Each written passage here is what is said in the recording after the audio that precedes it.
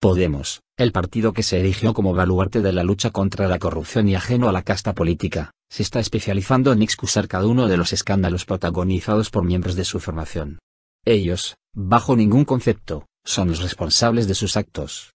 Es el sistema el que les obliga a cometer pequeñas irregularidades que, en otros partidos, siempre realizan por pura maldad y perversión.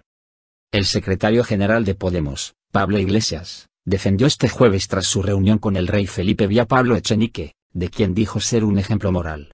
El líder de la formación morada no vio inconveniente alguno en que el predicador más ilustre del alta en la seguridad social para los empleados domésticos, tuviese en su propio hogar a su cuidador sin contrato y, por supuesto, sin contribuir a las arcas de la misma. Iglesias afirmó no haber ninguna irregularidad en la actividad de Echenique, quien sí reconoció haber actuado mal pese a no presentar su dimisión ni asumir ninguna responsabilidad política. Asimismo, el número uno de Podemos pasó la pelota al tejado del Partido Popular al manifestar que Echenique había dado más explicaciones en las últimas 48 horas de las que ha dado hasta la fecha Mariano Rajoy por su inclusión en los papeles de Barcenas. Este no es sino el último ejemplo en el que Podemos exime de cualquier compromiso a uno de sus componentes tras destaparse algún caso de este calado.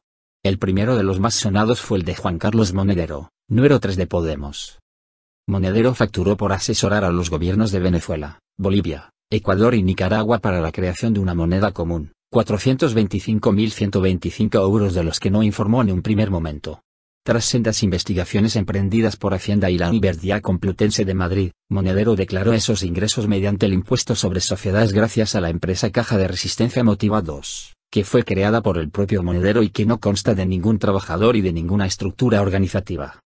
Aunque Monedero finalizó saliendo del partido, Podemos trató de desviar la atención mediática en su día hablando de una persecución que trataba de deslegitimar al partido de cara a futuras elecciones. Podemos, además, defendió siempre la inocencia de Monedero por el fraude a Hacienda y después presumió de que el ex número 3 de la formación regularizase su situación. Otro señalado fue Íñigo Errejón, que fue inhabilitado por la Universidad de Málaga por cobrar una beca de investigación de 1.825 euros mensuales sin acudir a trabajar. Errejón trató de justificarse alegando que estaba realizando su investigación desde Madrid porque desde ahí podía acceder a bases de datos y bibliografía de la que se carece en Málaga, especialmente en lo que a datos no digitalizados se refiere. Podemos recuperó entonces el discurso de campaña de infamias contra los suyos y se reafirmó en el miedo a su partido que se le intentaba infundir a la sociedad.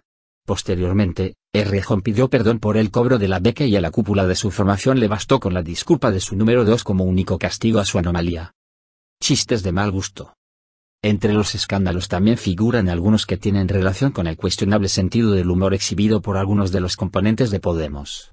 El propio Pablo Iglesias ha sido denunciado recientemente por la presentadora Mariló Montero por decir de ella que la azotaría hasta que sangrase. Iglesias se defendió argumentando que ese mensaje fue escrito en un grupo de conversación privado y en un tono jocoso. En este sentido, fueron muy sonados los tweets del edil Guillermo Zapata, cuyo grupo amparó por considerar los meros mensajes de una persona aficionada al humor negro. Entre los mensajes vertidos por Zapata en la red social Twitter figuraban algunos como el Estado de Israel no sabe para qué necesita tanto espacio si cada persona ocupa un montón de ceniza, entre otros que bien podrían entenderse como discurso del odio algo no protegido por la Constitución. Otros casos. Entre las controvertidas actuaciones de los figurantes de Podemos, sobresale el asalto liderado por Rita Maestre a la capilla de la Universidad Complutense de Madrid en 2011. Maestre entró en ella al grito de vamos a quemar la conferencia episcopal mientras se quitaba la camiseta y se situaba ante el altar de la misma. Pablo Iglesias nunca ha dudado en defender a su compañera al considerar que es excusable su comportamiento por tener como fin la defensa de las mujeres y de la laicidad del Estado. La alcaldesa de Barcelona, Ada Colau, también estuvo en el punto de mira por la promoción en el metro de un poema que mezclaba religión con contenidos sexuales. El conocido como Padre Nuestro blasfemo era un canto a la libertad según la alcaldesa sin ánimo alguno de ofender las creencias de cada uno y que combatía la represión de una cultura patriarcal que aún hoy sufrimos. Por último, el pasado mes de mayo la jueza Victoria Rosell decidió retirar su candidatura a diputada por Las Palmas por presunta prevaricación de fondos para beneficiar los negocios particulares de su marido. Desde la formación morada se alabó el gesto de la jueza por considerar que se apartaba por no perjudicar al partido de cara a las elecciones del 26 de junio, pero se reiteró su máxima confianza en ella y se reiteró que su imputación era como siempre, fruto de la cacería política de la que ha sido víctima desde el mismo momento en que anunció su incorporación a este proyecto político.